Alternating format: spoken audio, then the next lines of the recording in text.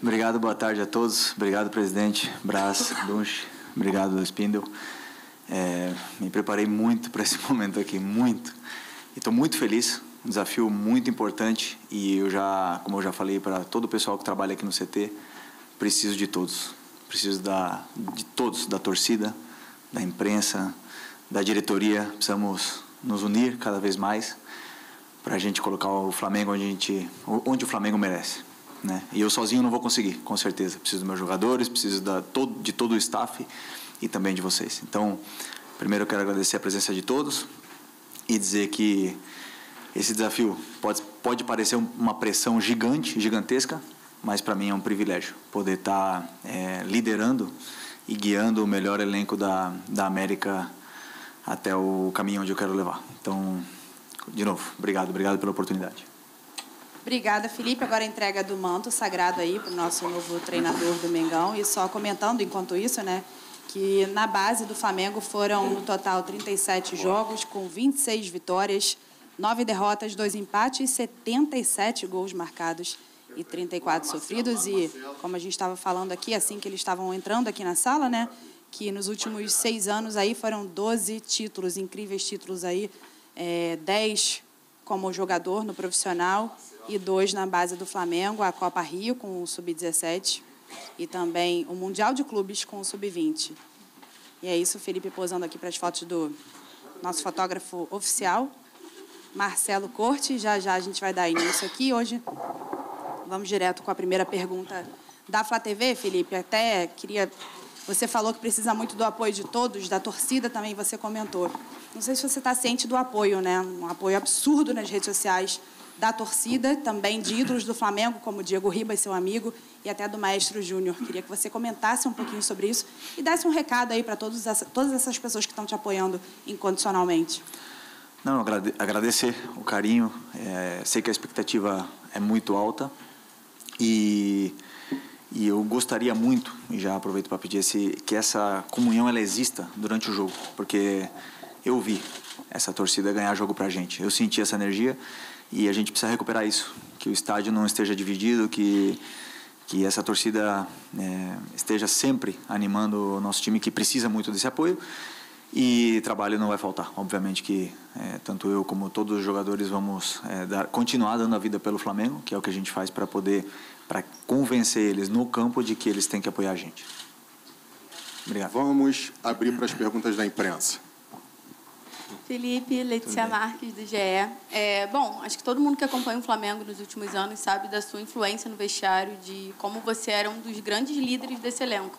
E assim, quis o destino que você tivesse esse, essa sua primeira experiência no profissional, justamente com seus ex-companheiros. Então, eu queria saber de você como você se vê como técnico de 21 atletas que você já dividiu ali o dia a dia no treinamento, principalmente em função dessa gestão do elenco. Você acha que isso é bom pra caramba ou isso pode ser um empecilho para você também? Tem os prós e contras, né? É, os prós é que eu conheço esse grupo é, como ninguém. Eu sei das lideranças, eu sei o que acontece. Eu estava presente durante cinco anos nesse mesmo grupo. Acho que chegaram só três ou quatro jogadores desde que eu me aposentei. Eu conheço todos eles. E eu sei que vou tomar decisões que vão incomodar alguns jogadores e que alguns deles é, vão ficar bravo comigo, mas não é com o Felipe Luiz, pessoa, é com o Felipe Luiz, treinador. Então é importante separar isso aí, que a maior forma de respeitar todos esses jogadores é treinando, deixando eles preparados para o jogo. Depois as minhas decisões vão agradar alguns, a outros não, mas o importante é que a cobrança e, e o elogio ele vai existir para todos em todos os momentos quando quando for necessário. Não vou não vou ter especial é, cuidado por algum deles, obviamente, que todos são diferentes e todos merecem é, ser tratados de forma diferente, mas é, sempre colocando a equipe e o Flamengo em primeiro lugar. Esse, com esses valores aí é que eu, que eu me guio para não, não confundir nunca amizade com, com profissionalismo. Boa tarde, Felipe. Boa tarde, Boa tarde, a todos. Boa sorte, Felipe. Obrigado. Entre esses ex-companheiros está Gabriel Barbosa. E a gente sabe de todo o apreço que você tem pela pessoa e pelo jogador, do, da qualidade dos movimentos que você sempre destacou, da capacidade uhum. de fazer facão, enfim. É, só que hoje é um Gabriel que vive um momento totalmente diferente, com é, indefinição sobre permanência, inclusive.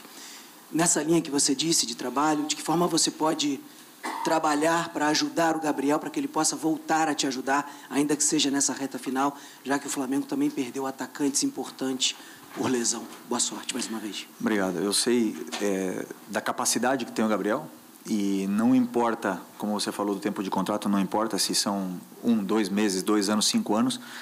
Eu vou dar a vida não só por ele, senão por todos esses jogadores para poder melhorá-los é, individualmente e de fazer para que eles joguem é, de uma forma é, coletiva é, organizada, né? que ele seja uma peça dessa engrenagem é, que faça a equipe funcionar. E eu vou fazer de tudo que está no meu alcance para recuperar me, o melhor nível dele, o alto nível dele, o alto rendimento que ele tem, que ele já teve. E assim que ele começar a falar no campo, o Gabriel que eu conheci, que ele começar a ser o Gabriel que eu conheci, é, com certeza ele vai recuperar os minutos que ele que ele precisa para poder ter uma sequência e em desempenhar o melhor futebol dele. Eu vou voltar para ajudar o Gabriel, mas não só o Gabriel. Não estou aqui só para melhorar o Gabriel, estou para melhorar a equipe e é, não só ele, senão vou melhorar, vou tentar melhorar Gabriel, Carlinhos, Bruno Henrique, quem tiver no ataque em determinado jogo, eu vou, como eu falei, dar todas as instruções e é a única forma que eu tenho de respeitar todos. Felipe, aqui, tudo bem? Pedro Torre, ESPN. Você falou em melhorar a equipe. É, em algumas é, entrevistas, logo depois que se aposentou, iniciou na vida de treinador, você falava em ter um time muito vertical, enfim, sobre o modelo de jogo. Uma das grandes críticas do último trabalho do Tite, especialmente nesses jogos contra o Penharol, foi um time muito horizontal. Tocava muito lateralmente e não conseguiu é, agredir tanto o Penharol, enfim. É, como é que você imagina melhorar o time, tendo essa ideia de um time mais vertical? O que, é que você já imagina seja possível melhorar nesse Flamengo? Obrigado. Primeiro, é, dizer que eu não quero me comparar com nenhum trabalho dele dos, dos anteriores, né? O que foi feito é, ficou para trás e eu quero começar uma nova história, um novo Flamengo com a minha cara. Né? Então, é, eu, eu pego um time que não tá, é, não é um caos, não é um time que, que pega aqui jogadores descompromissados, cara que não querem correr. Eu pego um time sim que tem é, organização. Tite não deixa, não deixa um trabalho. É, vai, vai deixou muitas coisas boas de herança para esse time aqui e deixou o time também com uma vitória. Então assim, eu pego um time que com os ajustes que eu vou fazer sobre a minha, o meu modelo de jogo, a minha forma de pensar o jogo, que é fazer o time competir da melhor forma. Isso, isso significa atacar bem e também defender bem a minha maneira, né? Então, porque é, não é melhorar o que o Tite fez, é fazer da, de forma diferente, é fazer da minha forma, entendeu? Então, é, são alguns ajustes que precisam de certo tempo, mas que, que com trabalho muito, principalmente vídeo agora que não vai ter tempo para treinar, a gente vai tentar corrigir.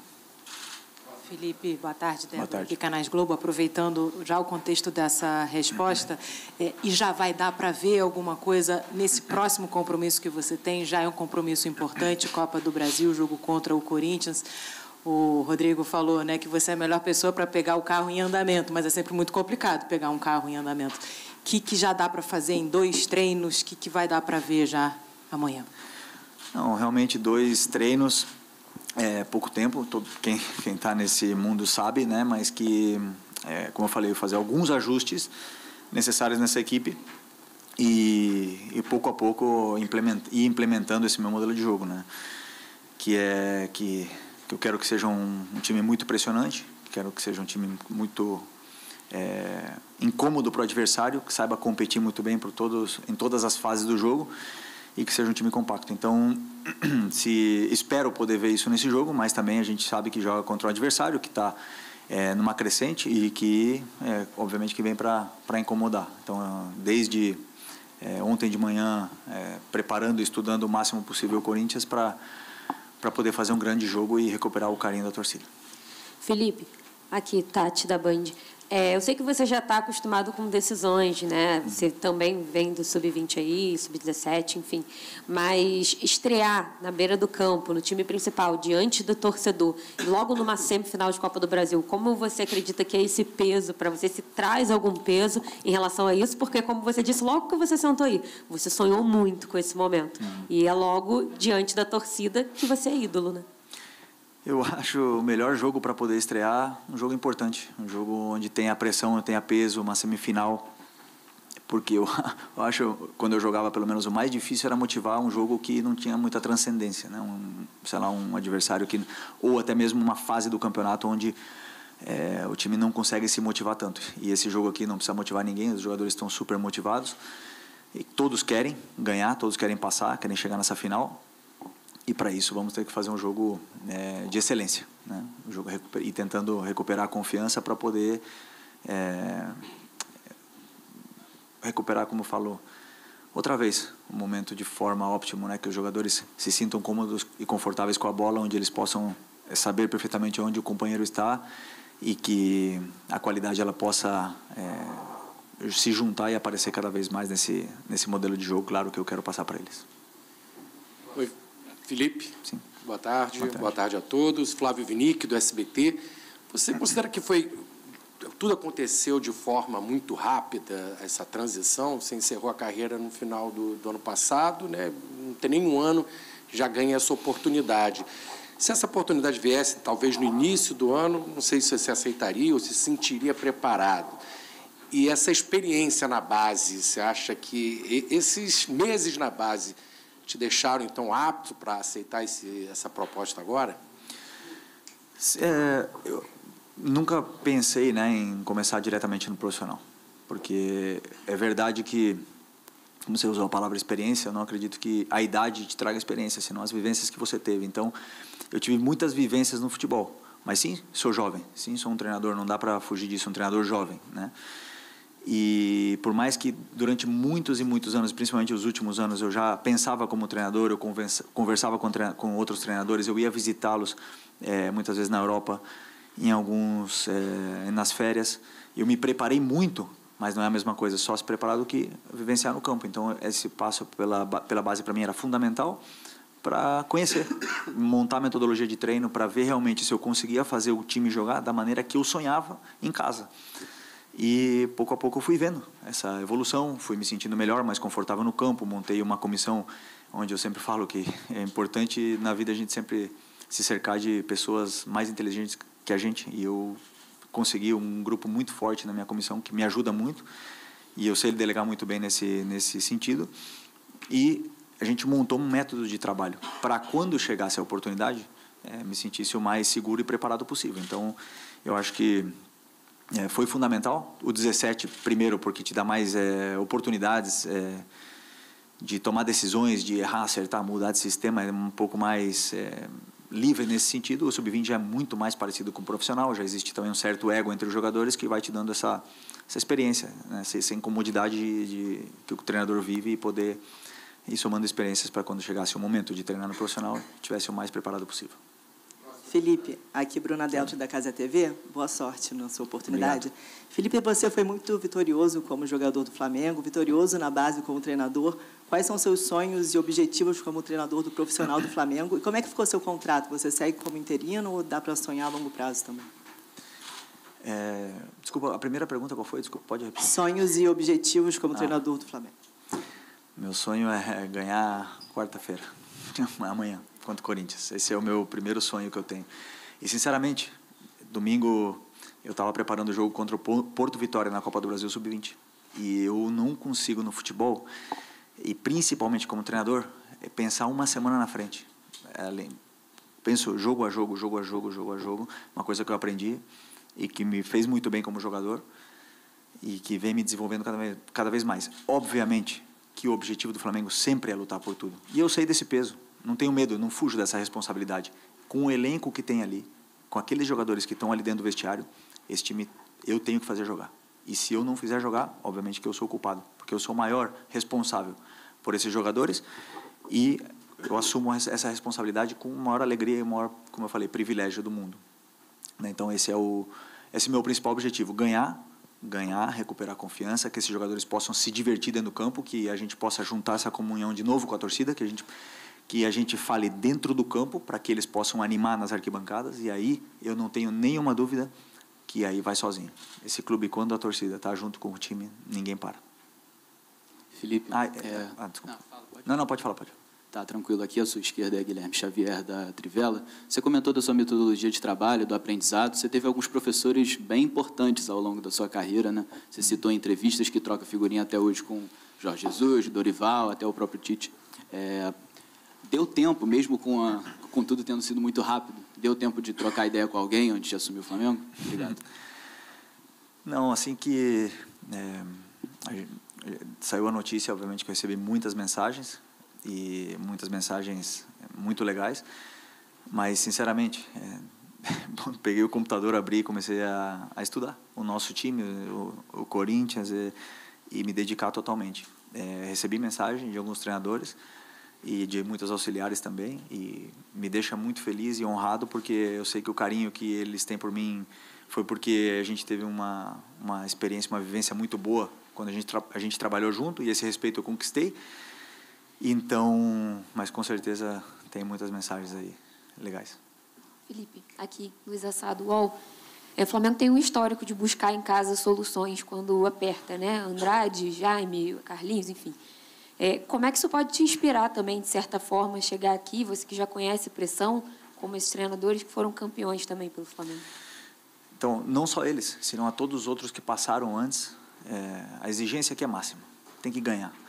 E eu quero, como treinador, fazer uma nova história. Não quero que me comparem com nenhum treinador, eu quero que todo mundo pense daqui para frente. Então, respeito e pô, fico muito feliz de todos os que conquistaram antes, os que escreveram o nome na história.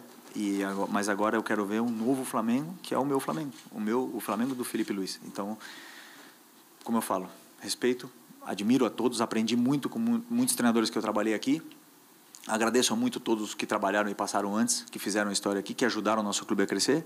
E agora é, como eu falei, desse ponto para frente.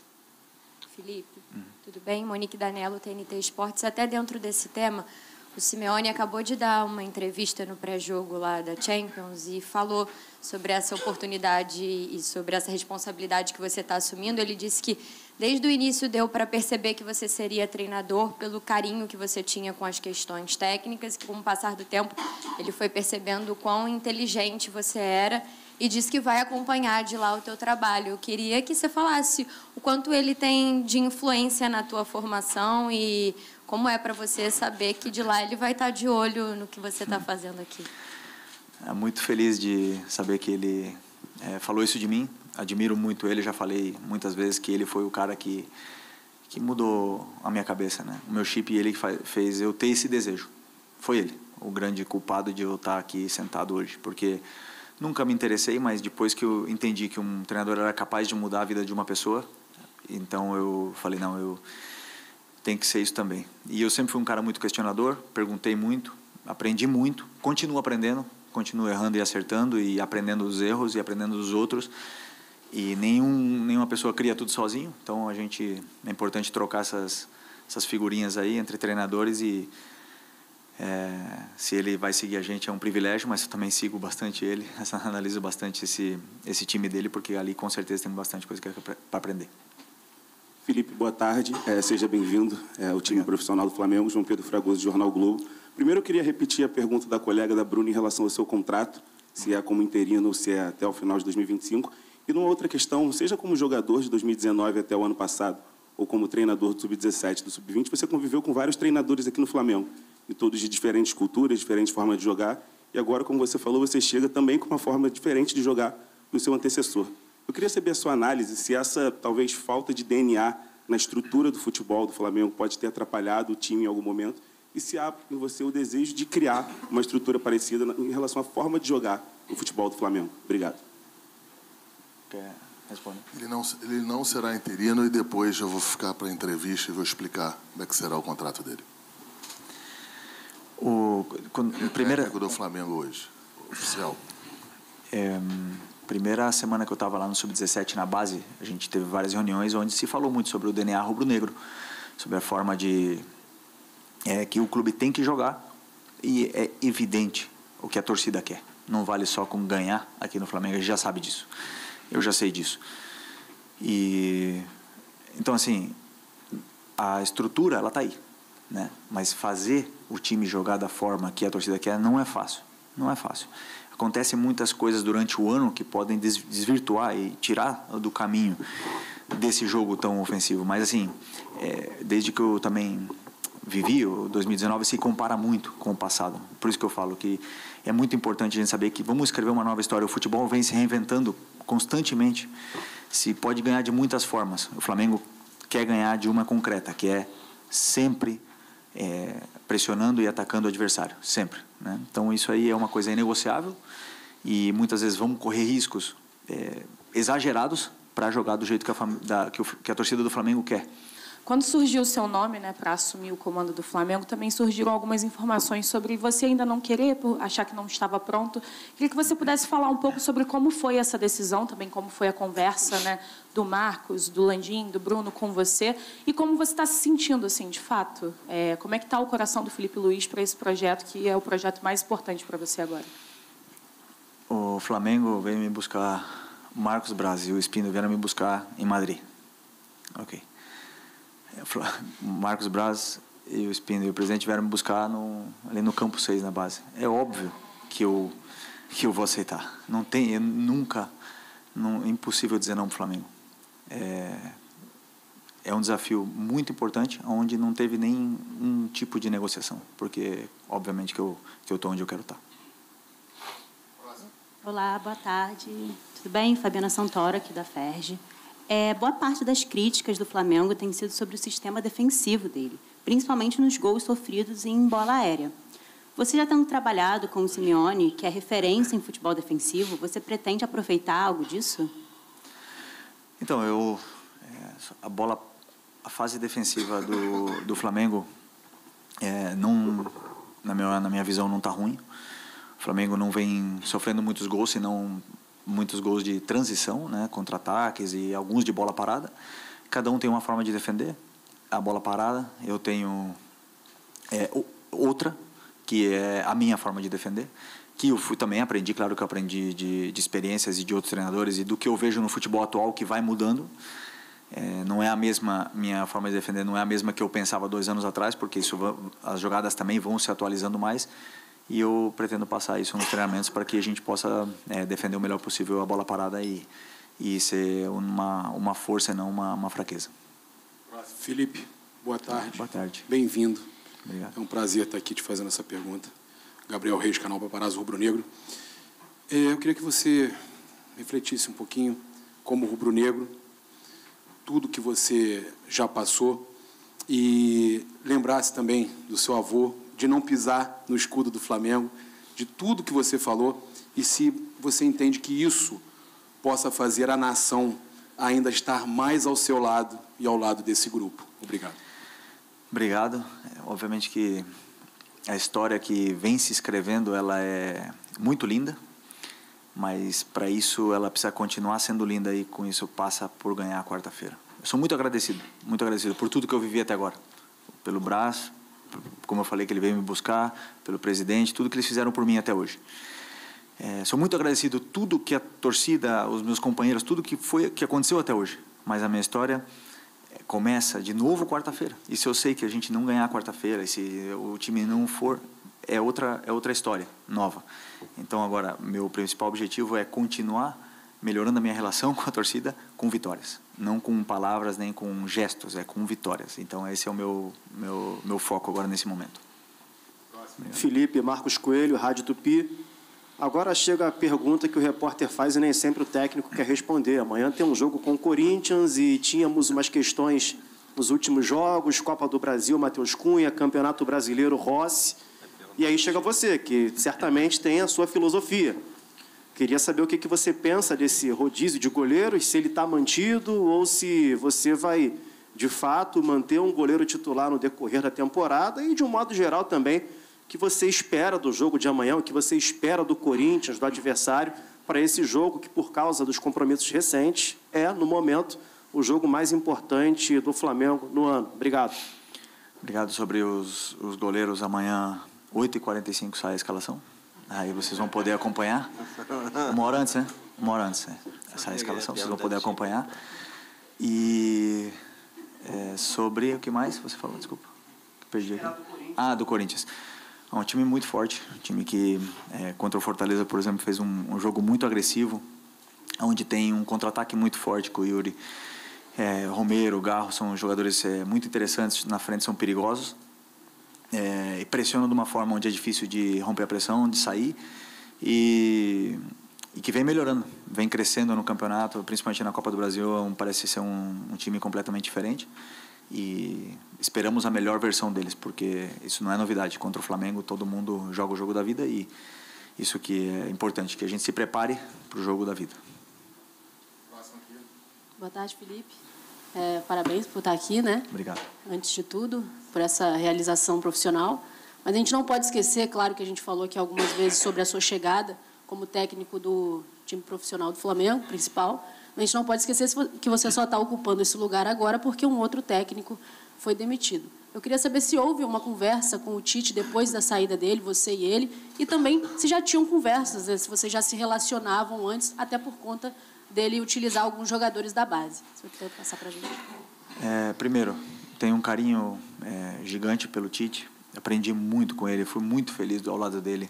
Fomos para uma Copa do Mundo juntos. Tenho um respeito é, enorme e a gente conversava muito, muito, semanalmente, é, por causa dos jogadores também do Sub-20. E cada vez que, é, algumas vezes pediam o grupo todo para vir aqui treinar contra o profissional, eu subia junto, a gente conversava e é, trocava ideias sobre, sobre os garotos e sobre o time. E é um cara que eu só tenho elogios, não tem nada a falar. E como eu falei, é um cara que deixa o time, não deixa o time um caos. Ele deixa um time, um grupo querendo, um grupo com vontade, um grupo que está incomodado por estar nessa situação e que e que eu sou muito agradecido por tudo que ele fez por mim, por tudo que ele fez por mim. Então eu realmente estou ocupando um lugar que o treinador deixa e depois daqui um tempo, não sei quanto, espero que daqui a muito tempo, outro treinador ocupará esse lugar aqui, que e o Flamengo continuará estando aqui e ninguém é mais importante que o Flamengo. A gente já sabe disso. Quando eu sei, quando eu sento aqui, eu já sei disso, dessa responsabilidade que tem esse cargo e só desejar o melhor na carreira dele e agradecer por tudo que ele fez por mim. Felipe, aqui, Raíssa Simplício da Gol Brasil. Né? Seja bem-vindo aí como treinador agora. E como treinador, você já passou por isso como jogador, vai passar por isso como treinador também. Muito se fala né, no Flamengo priorizar competições, se prioriza, não prioriza. O discurso é um, a torcida entende outro. E o Flamengo está numa semifinal de Copa do Brasil, com dois jogos para chegar numa final, três jogos para poder ser campeão, e tem essa reta final do Campeonato Brasileiro. Queria saber, você, Felipe Luiz, como você vai administrar essa Copa do Brasil, Campeonato Brasileiro? Se vai priorizar alguma competição? É, e para o torcedor entender se vai poupar, não vai poupar, como é que está o teu planejamento para isso? Planejamento é jogo de amanhã, primeiro. Mas posso avançar assim que eu não gosto é muito de poupar. Não, claro que eu, na minha na minha visão o que eu entendo como futebol a gente tem que ir com as melhores peças é, no momento ideal e muitas vezes vai, vão ser outros uns jogadores, outras vezes vão, vão ser outros pelo momento que eles vivem, pelo físico que eles estejam, ou mental, ou a parte técnica, alguma coisa, que por isso existem trocas, por isso existem mudanças, mas que é, eu gosto de é, tratar todas as competições como importantes, sabendo que da dificuldade que é o muitas vezes esses jogos, mas eu acho que é, ter bastante jogos na temporada é um privilégio. É um, isso quer dizer que esse elenco vai, vai mostrar a força dele, porque aqui nós temos um elenco altamente qualificado que pode é, que a gente pode repor as peças. Se um se machuca, se algum tem algum problema, a gente pode repor as peças, porque os que são reservas são do mesmo nível dos titulares e, isso, é, quando o calendário está apertado, a gente pode ver mais ainda a força desse elenco aqui, se, se como eu falei, a gente está no bom caminho. Você já, em, nas outras entrevistas, e também naquela, de, naquela sua entrevista de aposentadoria no, no ano passado, você tinha dito que se inspira muito no Jorge Jesus. Inclusive, ontem na Flá TV você falou que tem todos os treinos do, do, do Mister anotado. E aquele Flamengo do Jorge Jesus de 2019 e também de 2022, o Dorival Júnior, né? Os dois últimos títulos da Libertadores do Flamengo, o Flamengo jogava com jogadores bem compactados, né? Com um time bem compactado, no 4-4-2 a maioria dos jogos. Só que os outros treinadores que tentaram jogar mais é, com jogadores mais espaçados, no 4-3-3, por exemplo, não conseguiram títulos assim de tanta expressão no Flamengo. A pergunta é: É, o treinador Felipe Luiz, ele foca mais no trabalho, no esquema tático, com jogadores mais compactados, como 4-4-2, ou prefere mais espaçado no 4-3-3, por exemplo? Vamos lá. Primeiro, não falei isso ontem na entrevista. Não sei, não sei se você viu de outras é, outras datas, né? Mas não falei isso ontem. Mas você pode ter certeza de uma coisa: o 4-4-2 do Jorge não é nunca o mesmo 4-4-2 do Felipe Luiz, nem do Guardiola, nem de ninguém. Ninguém consegue fazer um 4-4-2 igual, um ao outro. Cada um tem suas, seus detalhes, que o futebol para mim está nos detalhes, suas peculiaridades que fazem ele ser diferente. Então, o 4-4-2 do Tite, o 4-3-3 do Tite, do Guardiola, não vai ser igual. Por isso que eu falo daqui para frente, uma nova história. É o 4-4-2 do Felipe Luiz, ou o 4-3-3 do Felipe Luiz, ou o 3-4-3. O sistema que a gente for jogar, que vai muito também em função de como vem o adversário para dar para os nossos jogadores vantagem de espaço e tempo para eles poderem jogar isso aí eu vou fazer e analisar segundo cada adversário que venha pela frente, para poder, como eu falei, para que eles possam desempenhar e mostrar para eles e uh, que juntos, todos seguindo na mesma na mesma direção com um modelo de jogo claro, que eles possam explorar e essa qualidade que eles têm venha à tona.